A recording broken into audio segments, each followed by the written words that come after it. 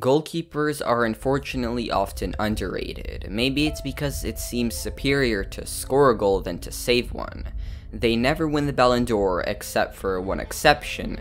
They are rarely recognized for being the best player of a side, but in my humble opinion, they are the key to a team's success. Just quickly picture in your mind what your club's game day would look like without a goalkeeper. Imagine PSG without Navas, or Manchester United without De Gea. Well, it certainly wouldn't look nice. Now, some keepers are just okay, but others are legendary, like you watch them save shots, and you can't believe how a body can even do that.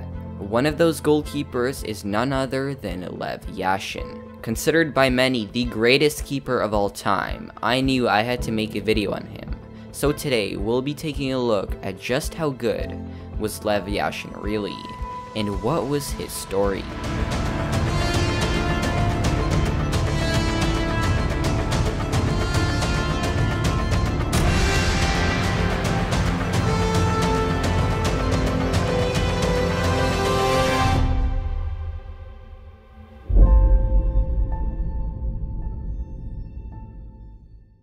Yo guys, welcome back to the Football Factor, it's great to have you, and if you enjoy these videos, consider lightly tapping the like button, and subscribing to the channel, it's absolutely free and you can always change your mind. But of course, it's totally up to you, so no pressure.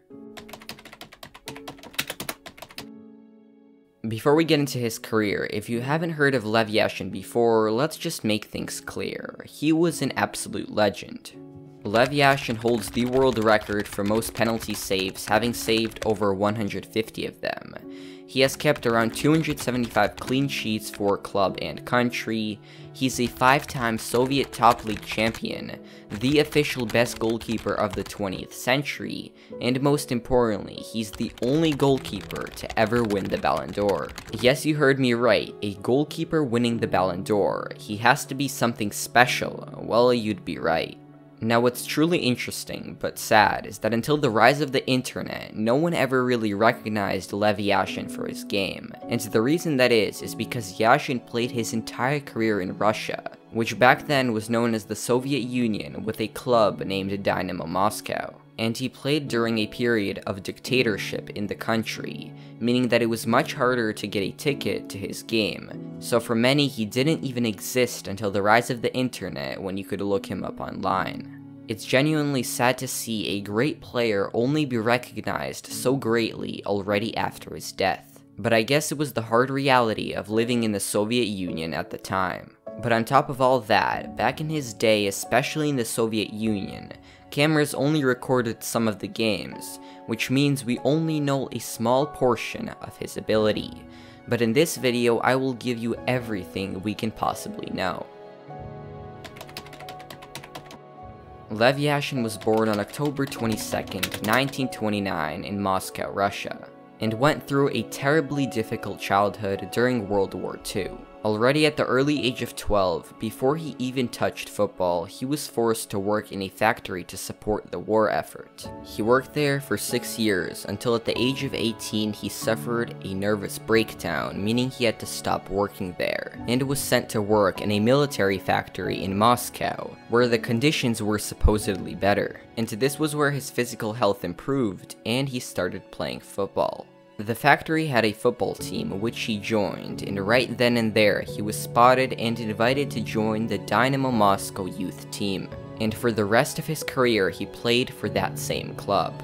Now something interesting about this man was that for the first four years of him playing for Dynamo Moscow, Lev Yashin was also playing ice hockey, until in 1954 he decided to give up hockey to focus on football and throughout the years he continued practicing football and becoming better and better, until his professional debut.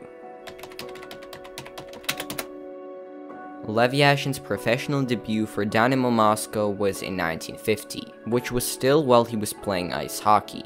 Yashin's career lasted for 21 years from 1950 to 1971, and during his time with the Soviet club, they won 5 league titles and 3 cups. It was also where he got several famous nicknames like Black Panther, Black Spider, and Black Octopus.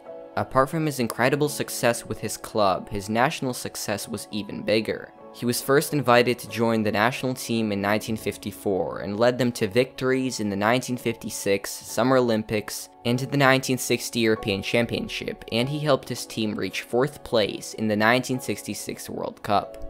Now his best and most memorable game was the 1963 England vs the rest of the world football match. This was a game where he made the most spectacular saves that were ever caught on camera. This match truly cemented his position as one of the best goalkeepers in international history of the game. And that same year, he was honored with the Ballon d'Or, becoming the only goalkeeper to ever receive the award. You see, that's all we really know about his career, and again, it's truly sad that he was so not recognized just because he lived in the Soviet Union under a dictatorship. If we look at careers of other players during his generation, like Pele, Alfredo Di Stefano, Denis Law, Johan Cruyff, and so on, we know so much more about them, it's truly mind-boggling. So all of his achievements that we know of, and all of the footage we can see of him, is in reality only a fraction of what his real potential was. Yashin's story was definitely very different from the average footballer who spent his childhood playing football, while Yashin worked in a factory. But despite all of the hardships that he went through during a war, he became arguably the greatest goalkeeper of all time.